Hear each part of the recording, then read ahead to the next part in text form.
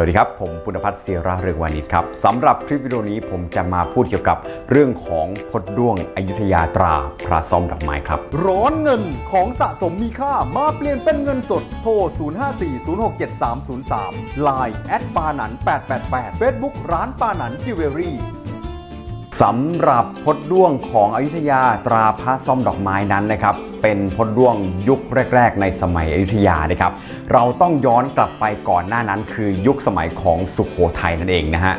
สุขโขทัยคือต้นตำรับของการใช้เงินพดด้วงครับ และแน่ๆนะครับบอกเลยว่านะครับนะฮะรูปแบบของพดด้วงนะฮะจากสุขโขทัยนะครับส่งผลต่อพดด้วงของ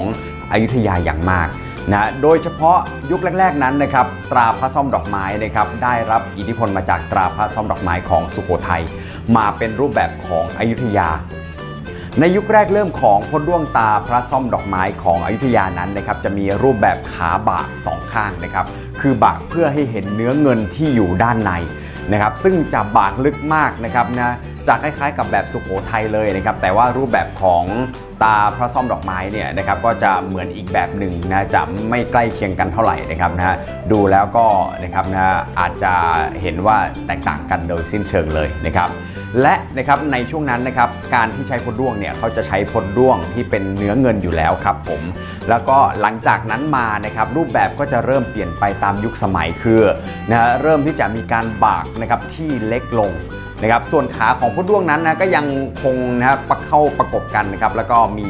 รูอยู่ตรงกลางนะครับยังมองเห็นรูตรงกลางอยู่นะฮะแล้วก็ต่อมานั้นนะครับก็จะเป็นรูปแบบที่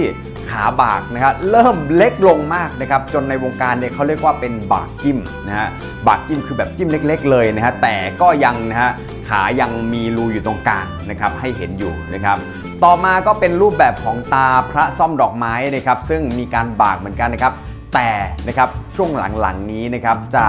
เป็นรูปแบบนะครับที่เริ่มไม่มีรูตรงขาแล้วก็คือนะครับนะขาผู้ด้วงเนี่ยมีการชิดกันชิดกันจนแทบจะปิดสนิทเลยทีเดียวนะครับ จนมาถึงยุคสุดท้ายในตราพระซ่อมดอกไม้นะครับก็จะเป็นนะรูปแบบนะของพดด้วงที่ค่อนข้างที่จะมีความเอ่อเป็นก้อนกลมนะครับมากกว่ายุคแรก ๆนะครับ แล้วก็รูปแบบของตราพระซ่อมดอกไม้นะครับนะฮะตรงปลายนะครับก็จะมีปลายแหลมนะครับดอกไม้จะมีปลายแหลมนะครับจากที่เป็นกลมๆนะครับก็จะเป็นปลายแหลมขึ้นนะครับแล้วก็ช่วงหลังๆเนี่ยนะครับก็ไม่ค่อยที่จะมีการบากขาแต่จะใช้วิธีตอกเมล็ดข้าวตรงที่ขานะครับ ซึ่งน้ำหนักนะฮะน้ำหนักของตราพระซ่อมดอกไม้นั้นนะครับ ก็จะอยู่ที่นะฮะถ้าเป็นบาทหนึ่งนะครับบาทหนึ่งเนี่ยจะหนักอยู่ประมาณ 4นะจุด6จุด7กรัมอยู่ประมาณนี้นะครับเพราะในยุคแรกๆนั้นนะครับบาทหนึ่งของอยุธยาเนี่ยนะครับเขาไม่ใช่ 15 กรัมนะครับเขาประมาณ 14 กรัมกว่าๆเท่านั้นเองครับและนะครับนะนอกจากนั้นนะครับก็ยังมีคนเจอรูปแบบที่หายากนะครับชนิดขนาดที่หายากก็คือ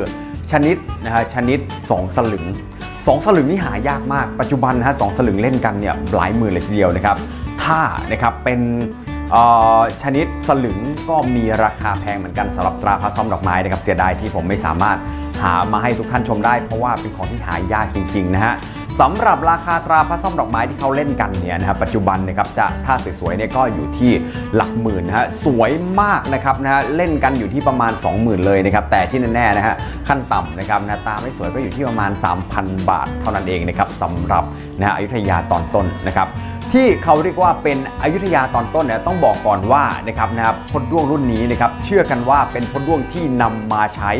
ก่อนที่เราจะเสียกรุงศรีอยุธยาครั้งที่หนึ่งครับและมีการนะฮะขุดพบนะครับขุดพบนะฮะพดด้วงตรานี้ค่อนข้างเยอะนะฮะ และข้อสันนิษฐานของนักสะสมหลายคนเขาสันนิษฐานว่านะครับสาเหตุที่ขุดพบกันเยอะเพราะว่าอย่างช่วงนั้นนะถ้าเกิดมีการหนีภัยสงครามใช่ไหมฮะเขาก็ต้องเอาไปฝังไว้ เอาไปฝังดินไว้นะครับหมายไว้เมื่อวันหนึ่งนะครับเหตุการณ์สงบลง เขาจะกลับมาขุดเอาไป นะครับก็นะฮะเขาก็ไม่ได้กลับมาเอานะครับก็ข้อสันนิษฐานอาจจะเป็นเพราะถูกจับเป็นเชลยบ้างนะฮะเสียชีวิตในระหว่างสงครามบ้างเพราะว่าช่วงนั้นนะมักจะมีโรคระบาดตามมานะครับสำหรับพดด้วงตราพระซ่อมดอกไม้นะครับนะฮะถือว่าเป็นพดด้วงที่